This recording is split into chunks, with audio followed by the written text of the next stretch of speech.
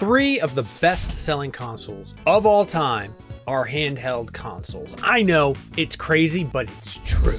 Handhelds are one of the most dominant categories in gaming, and as technology has progressed, we've seen the introduction of more powerful handheld devices. Right now, you can buy handhelds that are essentially cleverly constructed gaming PCs, but you can still get dedicated systems without all the power for playing classic games. Basically, the world is your oyster when it comes to handheld gaming right now, and we've gone ahead and put together a list of handhelds to throw in your carry-on bag next time you travel, no matter what your budget or gaming preferences.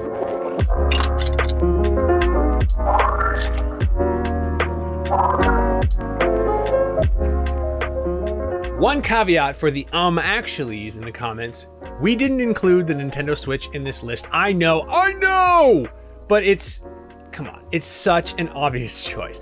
Pretty much everyone who wants a handheld gaming device probably already has a Nintendo Switch. The Nintendo Switch OLED model has one of the nicest, if not the nicest screen of any dedicated handheld right now. And honestly, I recommend upgrading if you're still rocking that launch day Nintendo Switch. Hey, pro tip, you can find just the OLED console without Joy-Con or dock on eBay and save big if you do decide to upgrade.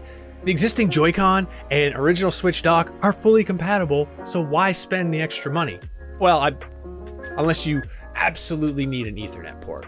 Smash competitors. Okay, enough about the Nintendo Switch and how it's just the obvious handheld choice. Let's look at some others that aren't currently sitting at number three on the all-time best-selling consoles list.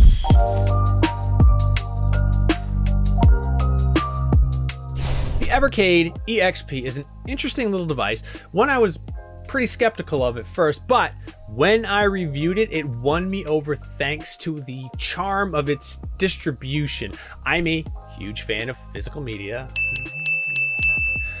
And Evercade games live inside chunky little game cartridges that remind me of. Uh, well, I don't. I don't really know what the carts remind me of, but the plastic boxes are definitely a nod to old Master System and Sega Genesis games.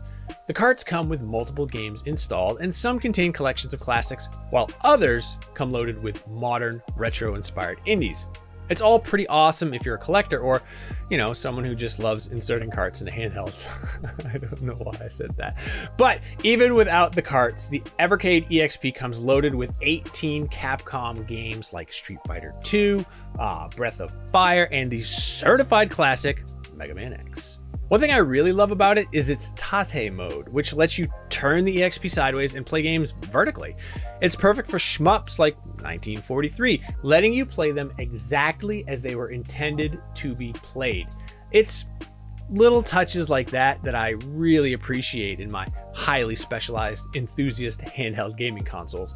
Oh, by the way, Evercade carts work across the EXP and the Evercade Versus or VS Evercade VS. Let's call it that. Uh, the VS is a traditional console, so you can play on your TV and then pop the card out, toss it into your EXP, and take it with you on the go. I'm a sucker for this kind of thing, and I really love how the carts and boxes look, but I'm also realistic enough to know this isn't a device for everyone.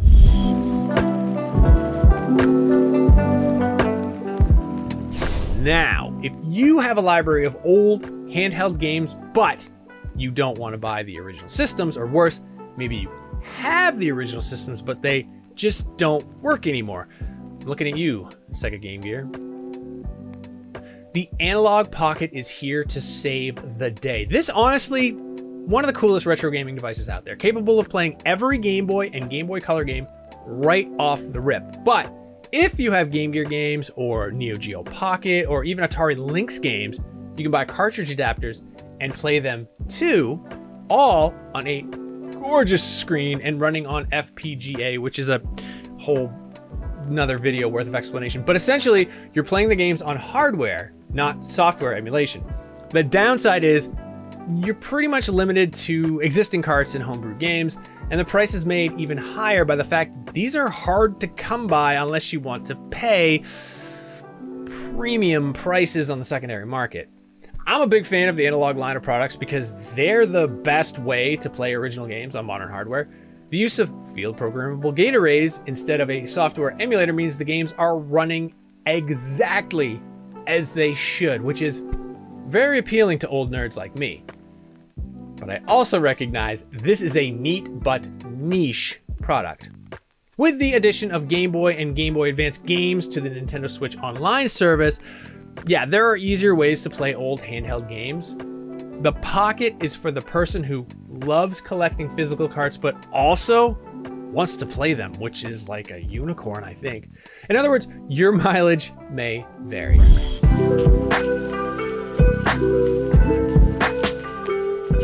Cloud-based gaming is a promise that is still mostly just a promise. But devices like the Logitech G Cloud are making headway in the cloud gaming space. The biggest downside to cloud gaming remains, well, the cloud. On paper, cloud-based gaming is awesome. All the heavy graphical work is being done by some massive server farm in the middle of nowhere, giving you an experience you'd have to pay thousands of dollars to get from a gaming PC.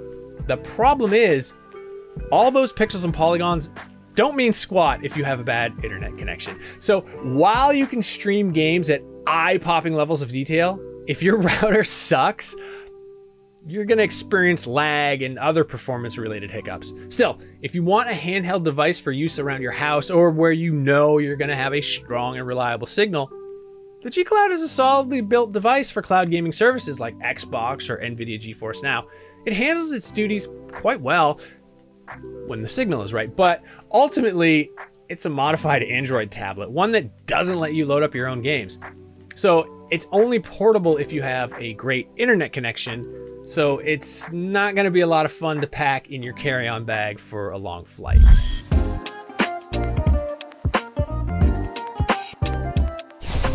I gotta be honest.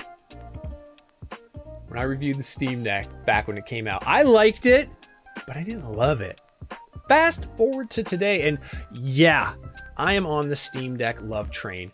Many of the problems I had with it at launch have been ironed out, and the slew of official and unofficial docks add an extra layer of functionality I didn't even think I wanted from the deck.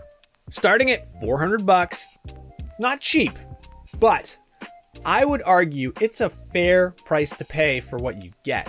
Games certified for use on Steam Deck work really well, and it absolutely changed the way I approach Grand Theft Auto 5. Who knew GTA makes for an incredible portable experience? Not this guy. Add in the fact it has a Linux-based desktop, and this is closer to the computer John Connor uses in T2 to hack an ATM than it is to a Nintendo Switch. Note, that's not really true. And please don't hack into an ATM with your Steam Deck, even if your ginger mulleted friend needs arcade money. Easy money. Come on. Of all the devices I'm recommending today, I can honestly say the Steam Deck is the one I recommend above all the others. Now that it's established, the Steam Deck is just an awesome portable way to play your Steam library on the go. Yes, it's still a Linux-based machine, one that doesn't have full compatibility with all the games, but if it's not close enough, and most of the best games you'd want to play handheld are supported. Text-heavy games like RTSs aren't a great experience in handheld, but drop it on a dock, and now you're playing Stellaris on your 65-inch TV. Whoa!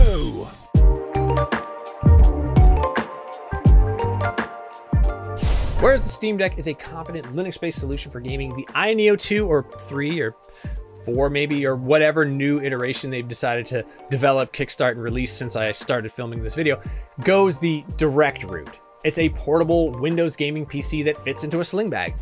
It's really kind of incredible, but by being Windows-based, all your Steam library will work without compatibility issues. You might still have a bit of a hard time reading text on its smaller screen, but a small price to pay to have it all.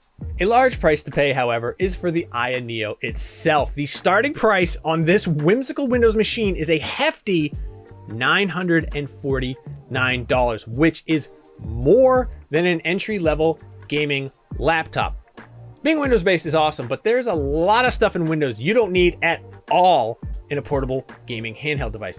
You could use it to replace a Windows machine, but that requires a monitor and a keyboard and mouse. And once again, why not spend that money and just get a gaming laptop or a decently equipped gaming PC? The Ayaneo is a much bigger flex than any of the other handhelds on this list, thanks to costing more than twice as much as the entry level Steam Deck.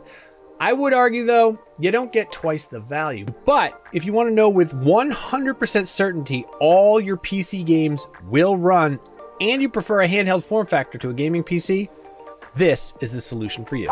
So there you go. Five handhelds, each with various strengths and weaknesses, with something to fit your budget and your needs, although maybe not both. Are you a handheld gamer or do you prefer what consoles and PCs offer? Or are you fine with gaming on your TV, desktop, and in the palm of your hands? Let's hear it in the comments.